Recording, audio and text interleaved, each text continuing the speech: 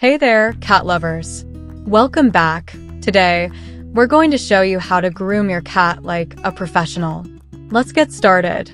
First, gather your tools.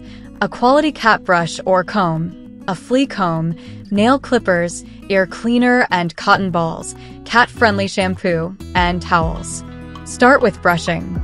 Gently brush your cat's fur to remove loose hair and prevent tangles.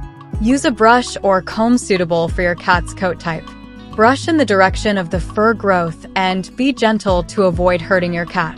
Pay special attention to areas where mats tend to form, like behind the ears, under the legs, and around the belly. Next, trim your cat's nails.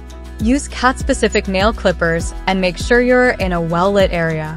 Gently press on your cat's paw to extend the nails and trim just the sharp tip avoiding the quick.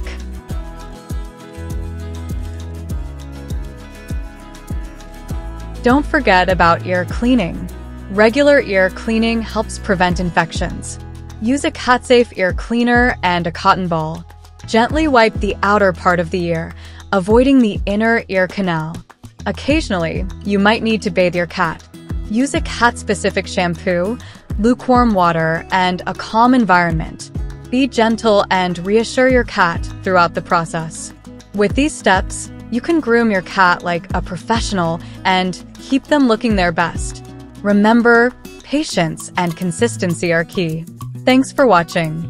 If you found this video helpful, please give it a thumbs up and subscribe for more cat care tips. See you next time. Like our video, leave your lovely comments, and subscribe to our channel for more good times about the lovely pets.